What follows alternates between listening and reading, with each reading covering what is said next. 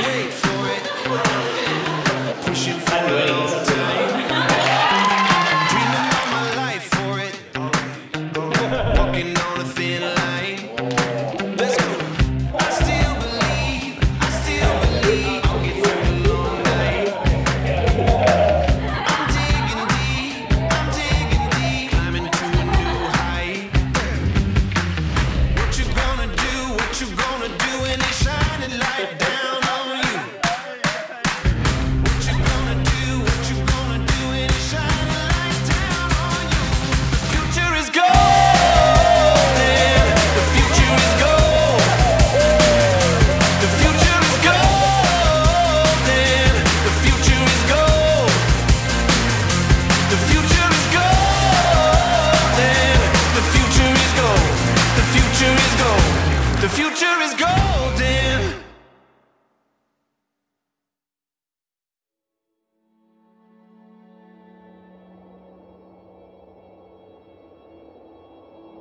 It's a very special day today, being Remembrance Day, and also um, the wedding of my little girl. It's what I've always called her. Every day when I get home from used to get home from work, she'd be there waiting for me in a little blue foam couch with a beer. She was just always happy to see you the whole time. It was great. When she was about five, I took her out for a first surf, which is something that we love to do together, and we still do 22 years later. I met Taylor for the first time at our home when he used to ride bikes a bit with Jack Leithhead. Knowing Jack since he was a little tacker, I thought Taylor might not be too bad as well. After a friendly chat from a protective dad, off Ally and Taylor went on their date. Just over 10 years ago, I came home from a night at the footy and said to my best friend, I could marry that boy. He had my heart from the beginning, and today I finally get to see my 16 year old self's dream come true.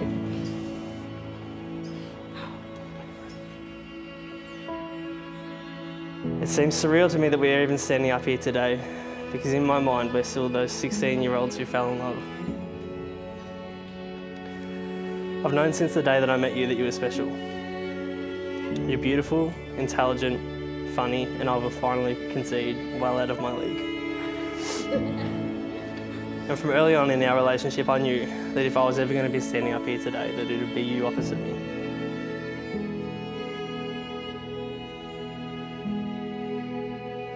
I needn't ever have worried about Taylor going out with Al, as he was and is a ripper bloke. And I think they are soulmates in the true sense. Sorry, this is where it gets a bit hard. Uh, I one of those people that just lights up the room with a smile. And we're all glad that Nan made it here tonight. And the weather forced us inside this building, even though they wanted it outside on the grass, in this building being the, the barn that Pa built. It's serendipity.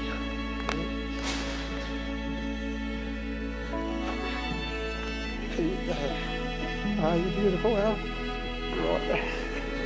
He would be very proud, as Ros and I are, of Ally here today, the sort of person she's developed into. You'll always be my little girl.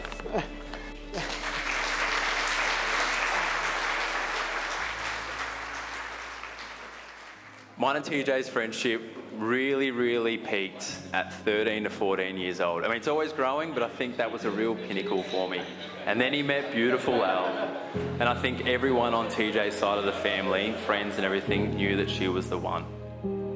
Al, you bring out the very best in TJ. You bring out sides of him that I never knew existed. You bring out the property development side of him that I never knew existed. And now look what you have. You have the absolute Taj Mahal right in Chirnside Park. But I really, really couldn't be proud of you both. Honestly, I think tonight is a celebration of not only your love, but what you've achieved this year. And I think it's incredible. And it's hats off to you both because it's amazing. As our icon Meredith Grey once said to Derek, I can live without you, but I don't want to. You always encouraged me to be my best self and chase my own dreams, which I can do confidently because I know you'll always be there by my side, cheering me on. I promise to celebrate with you in the exciting times and squeeze your hand a little bit tighter in the tough times. I promise to continue working on my love language of words to make sure a day doesn't go by that you don't know how much I love you. I promise to be loyal and generous with my love for you, to treat you as my best friend and equal partner in all the adventures that we have to come. I choose you above all others to face life's joys and challenges with and to hopefully one day raise a family with. Can't wait to see you become a dad and can only hope that our future children will inherit your warm heart.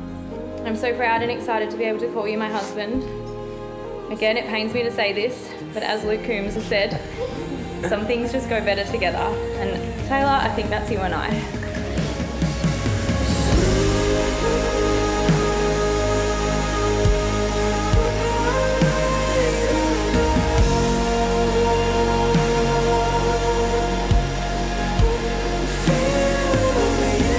by the love that has brought you here, by the vows and the rings you've exchanged, and by the integrity of your commitment, it is my pleasure and honour to pronounce you husband and wife. Taylor, you may now kiss your bride.